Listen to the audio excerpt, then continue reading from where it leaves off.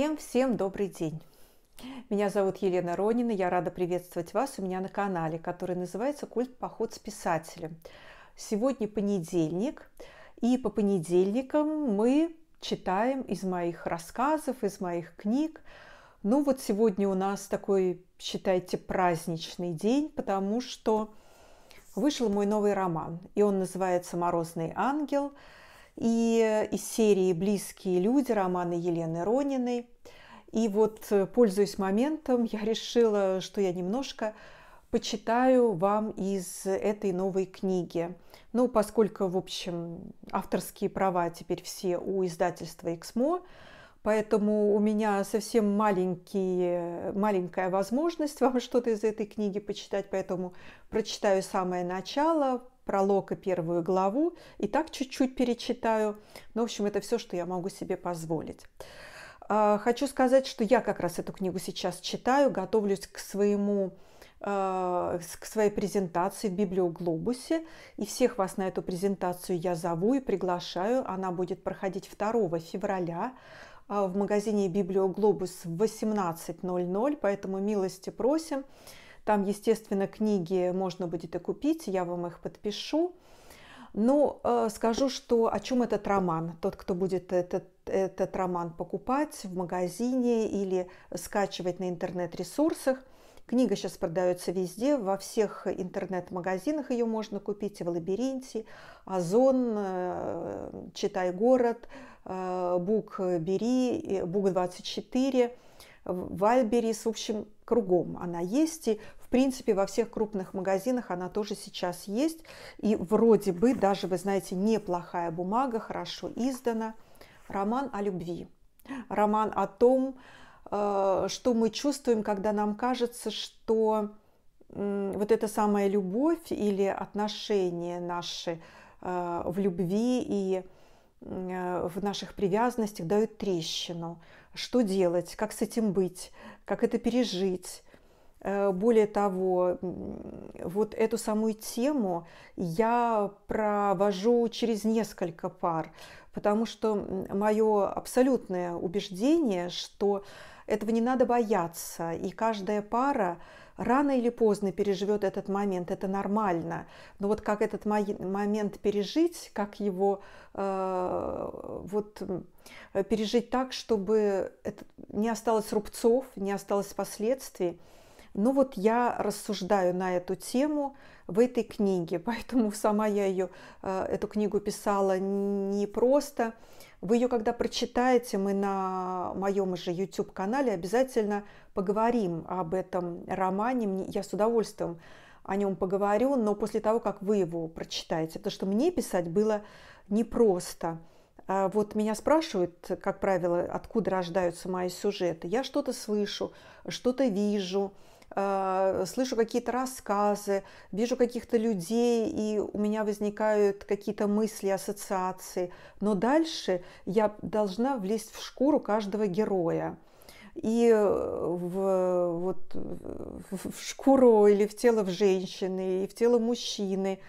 И поскольку здесь несколько таких пар, которые переживают сложные моменты в своей жизни, этот роман, правда, мне дался очень непросто. Я даже думала, что я его читать не буду. Но вот начала читать и, в общем, в общем читаю. И э, вот мой главный помощник в этом романе, это вот этот вот мой ангел, у него есть имя, но это только вот с колокольчиком. Вот все, как описано в романе, вот я описывала его. Это мой большой друг и моя большая благодарность ему, то, что он был со мной, а, смотрел на меня. Я с ним каждый день здоровалась, когда садилась за письменный стол – вот, и он меня очень поддерживал, поэтому это вот такая работа наша, наверное, совместная. Ну что, давайте немножко почитаем. Итак, Елена Ронина, «Морозный ангел». Слоганы этой книги такие «В жизни не бывает случайностей». И второй «Все решает человек» или «За спиной у каждого есть ангел-хранитель, который помогает». Ну и аннотация книги. Еще назад, неделю назад, Лара была уверена в своей семье и жизни. Любящий муж, сын, впереди отпуск в Болгарии. Но уезжает она в смятении и растрепанных чувствах. Кажется, жизнь перестала катиться по накатанным рельсам. Красавец на пляже – это просто ни к чему не обязывающее знакомство или начало нового жизненного витка. Кто знает? Ну вот, такая аннотация. Ну что, давайте почитаем. А, издательство «Эксмо», 2022 год. Все события и персонажи вымышлены, совпадения с реальностью случайны. Фото автора на обложке Анна Леонтьева. Вот, пожалуйста, милости просим. Анечку благодарю. Она сейчас со мной. Все фотографии, которые вы видите, это Анна Леонтьева, Анечка Леонтьева. Итак, пролог. Люди думают, что мы посланы осуществлять их мечты. Кто-то считает, что мы сохраняем им жизнь, предсказываем, уберегаем. Это не так. Мы не можем менять жизнь, мы не можем вмешиваться, но мы можем направлять мысль, можем заставлять задуматься. Нет, вы не подумайте, что мы внедряемся в голову. Мы не какой-нибудь чип. Мы вообще в технике ничего не понимаем. Мы больше про природу. Наше – это солнце, луна, закат, дождь, ветер. И это немало. Мы можем послать ливень, чтобы вы побоялись выйти из дома, или ветер – укажет направление, куда смотреть, или, к примеру, восход солнца. Вы пошли его встречать с человеком, с которым вознамереваетесь прожить всю жизнь, и вдруг видите, что он совсем даже не на горизонт смотрит, а на припаркованный на холме автомобиль. Оно, конечно, тоже неплохо.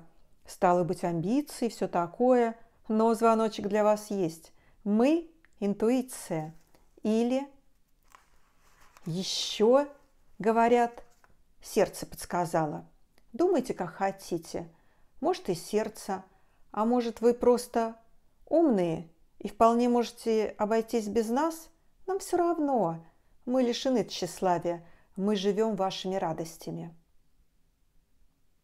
Именно Мишка взорвал тем утром ленивую атмосферу солнечного берега. Это теперь мой лучший друг. Согласна, пусть будет так. Как зовут друга? Мишка вопросительно посмотрел на мальчика, незаметно толкнув его плечом. При этом стояли они уже приобнявшись, как закадычные друзья. Тот среагировал мгновенно. «Матвей!» «Матвей – это очень красиво и красиво. Нужно было как-то реагировать. Но Лара привыкла. В этом весь Мишка. Лучший друг, а как зовут, спросить не удосужился. Я его уже пригласил с нами завтра в Неброско. Но это ты правильно сделал. Только не его, а Матвея. И не Неброско, а не Себр, поправила сына Лара. А родители Матвея согласны? Замысловатое название Мишка тут же выкинул из головы. Какая разница? Ни Броско, ни Себр, делов-то. Такая особенность сына. Либо буквы в слове переставит, либо с ударением ошибется. Ну, не Себр, пусть так. Главное, это друг закадычный. А он с папой отдыхает. Мишка легонько треснул мальчика по лбу. «Твой Радак не откажется?» «Не, он все делает, что я скажу, по первому требованию». Господи, какие дети самоуверенные. Судя по всему, Матвей – ровесник Миши. Стало быть, ему тоже 8 лет, плюс-минус, или все-таки постарше. Лара всегда удивлялась, как сын лихо командует взрослыми ребятами – это кто тут делает все по первому требованию? К ним навстречу шел импозантный молодой мужчина, ну прям с обложки модного журнала. Высокий, подтянутый, с модной стрижкой в красивой футболке пола. Все мамаши на пляже мгновенно перестали разговаривать и уставились на Лару. Но это надо же! Столько молодых красивых женщин вокруг, на любой вкус. Хочешь по возрасту выбирай – Хочешь по внешности, можно даже по цвету кожи. И такое имелось на золотых песках Светового Ласа. И мальчиков полно, и ровесников этого самого Матвея тоже. С детьми отдыхают, как правило, сплошь мамочки, а в Болгарии в основном мамочки российского происхождения. И тут на тебе, какая удача! Мальчик с папой приехал. Парень мог выбрать себе в друзья любого – тем самым украсив пляжную жизнь его мамы. А он пошел на поводу у какого-то активного мишки. В жарком ленивом воздухе повесло возмущение.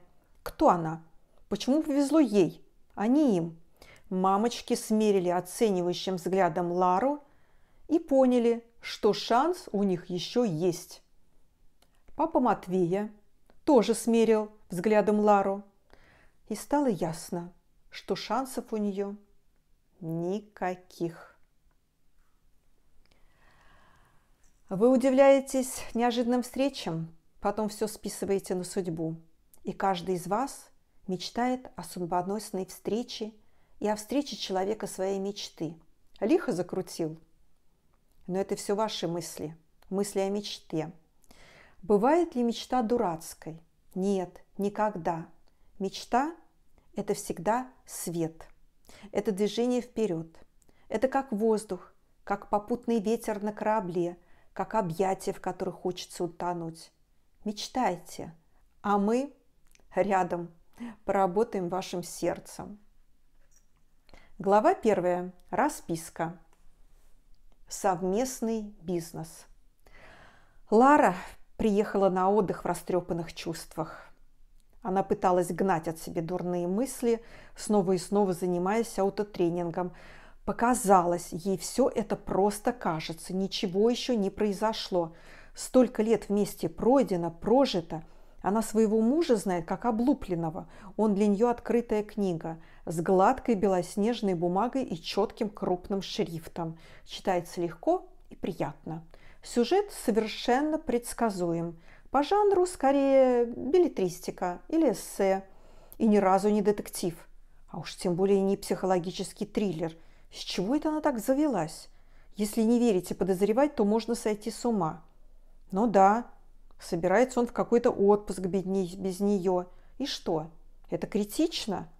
Подумаешь, они всю жизнь ездили вместе и будут ездить вместе. Она ж сама отказалась идти с ним в этот его медвежий поход. Или он не предлагал? Да, наверное, не предлагал. Неужели все-таки ей не кажется? Да нет же.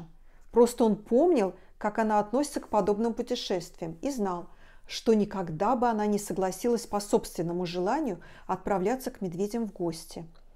Ясное дело, ее сбила с толку та его расписка. До их поездки в Болгарию оставалось всего два дня.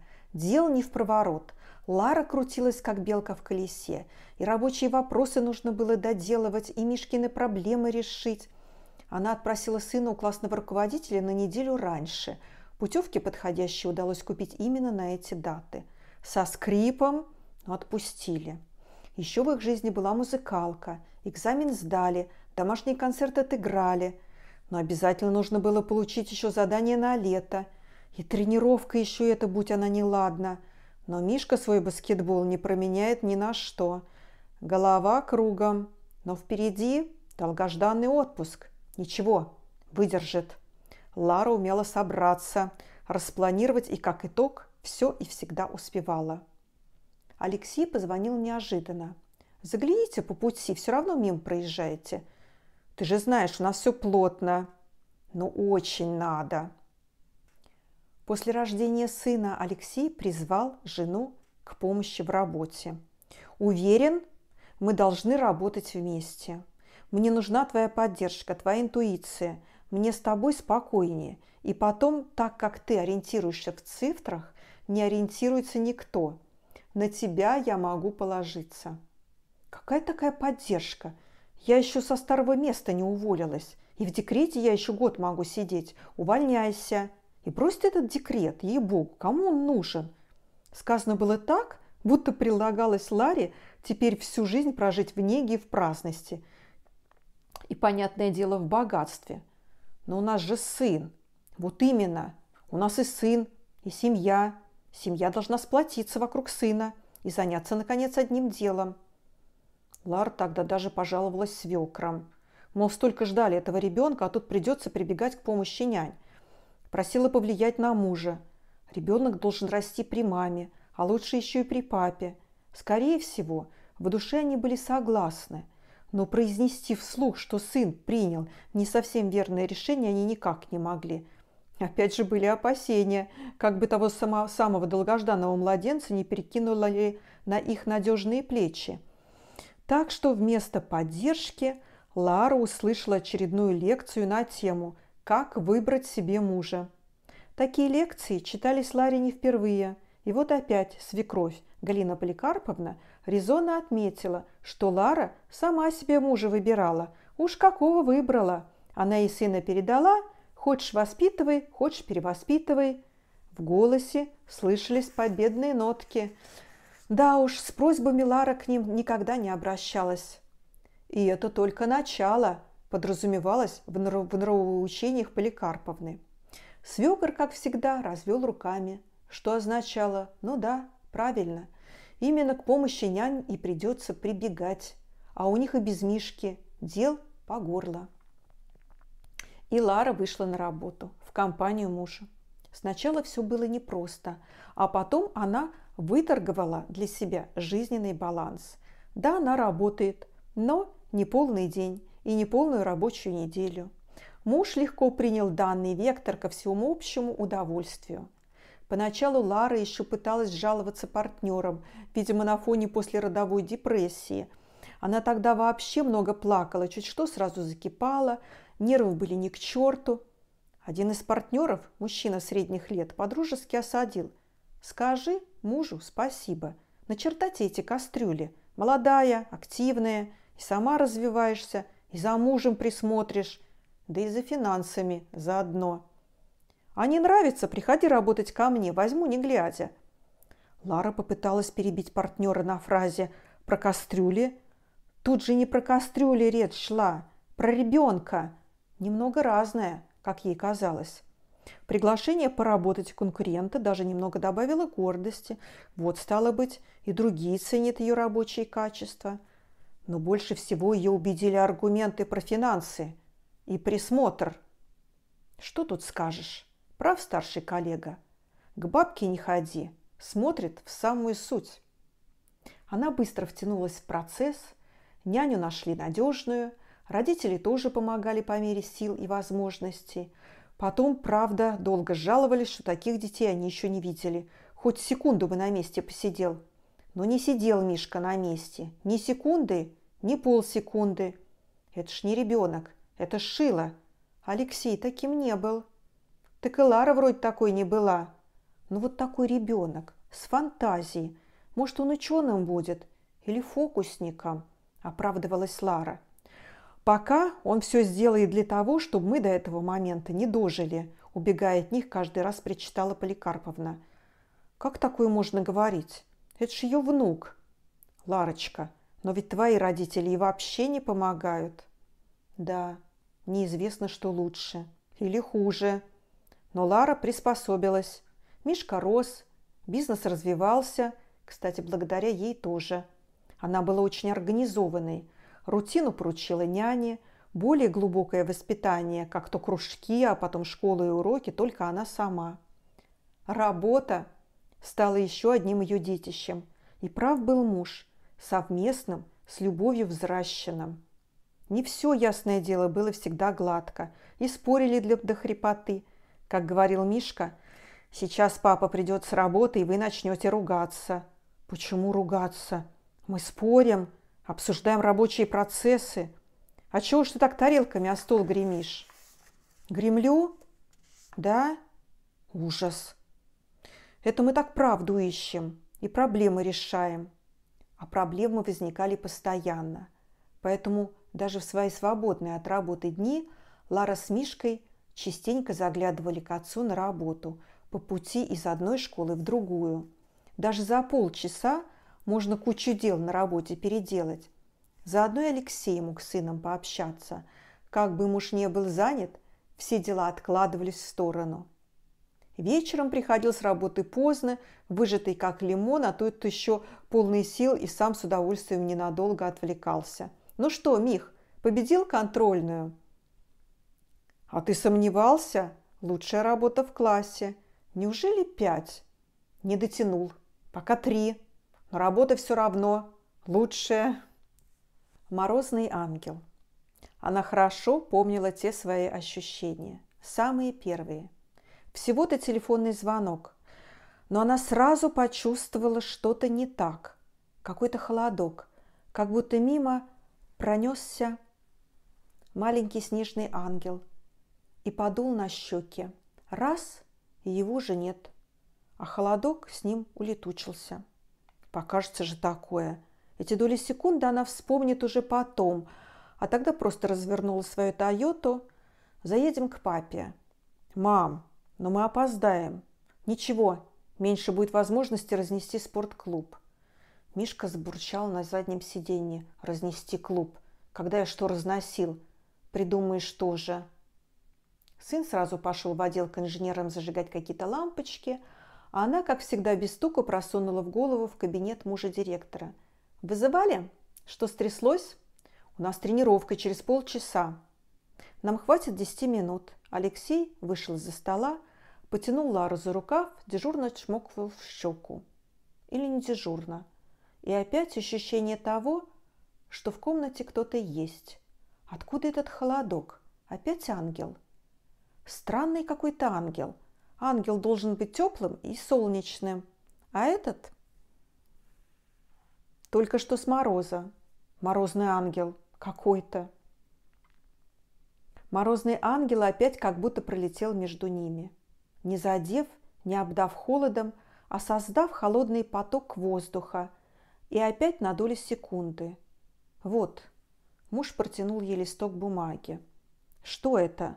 Лара пробежала глазами по бумаге. Написанная от руки расписка. Сегодняшнее число и подпись. Она еще раз повторила. Что это? Ну ты прочти. Лара попыталась вникнуть, хотя буквы уже поплыли перед глазами. Она попыталась взять себя в руки, выдохнула и уточнила – то есть, если с тобой что случится и ты не вернешься, то фирма перейдет ко мне, так? Все правильно. А почему ты должен не вернуться? Ну, мало ли что. Там что, опасно? Ну, не очень, замялся Алексей. Но хотел бы я, чтобы эта бумага лежала в сейфе. А, невнятно промямлила Лара. Ну, тогда дом поговорим. Да, собственно, не о чем говорить. Взгляд в сторону и в пол. Нет, не в пол, в окно. Тот взгляд в окно ее почему-то насторожил больше всего. Именно тогда она в окне увидела ангела, морозного мальчишку. Ярко светило солнце. Мальчишка был совершенно засвеченным. Какие-то контуры, лук, стрелы. И весь как будто бы замазан неровной белой краской – и взгляд такой жалостливый, мол, предупреждал же, а ты не верила. Ну вот, такое начало у книги, у романа «Морозный ангел». «Морозный ангел» Елена Ронина. Серия «Близкие люди» романа Елены Ронина, издательство «Эксмо», 2022 год. Ну вот, э, я надеюсь, что я настроила вас на этот роман, и вам будет интересно, и вы его прочитаете, чтобы потом обсудить его. Но главное, конечно, не это. Книги читают не для того, чтобы их обсуждать, наверное, а для того, чтобы все-таки сделать какие-то выводы, что-то объяснить себе в своей собственной судьбе, найти какие-то а, ответы на вопросы, которые вот сегодня стоят перед вами в вашей жизни – я очень надеюсь, что эта книга вам поможет. Может быть, она, знаете, скрепит какие-то семьи. Может, э, она вам позволит и поможет посмотреть на ситуацию другими глазами. С другой стороны, не наделать глупости здесь и сейчас. Ну вот, собственно, об этом сегодня хотела с вами поговорить. Меня зовут Елена Ронина, я писатель. Канал мой называется «Культ. Поход с писателем». Вот сегодня мы ходили, вот только что пришли из книжного магазина. Эту книгу мне купил мой муж, он ее не читал. Э, и читать, я думаю, не будет. Он мои книги сейчас уже не читает. Ну и не надо ему про это читать. Главное, что я ее написала, этого уже достаточно. Он мне ее купил. Вот, и мне купил, и маме купил, и своей маме купил, и своей, для своей мамы он ее послал кстати говоря, на день рождения. Она сказала, что это был для нее лучший подарок, потому что подарков было много, ну и в том числе была книга. Оставайтесь со мной, подписывайтесь на мой канал. Ставьте лайки, конечно, если вам понравилось э, мое видео. Ну и, конечно, пишите отзывы о моей новой книге. Да, и если вы москвичи, то жду вас 2 э, февраля в 18.00 в Библиоглобусе. С удовольствием вам эту книгу подпишу. Ваша Елена Ронина и чао-чао.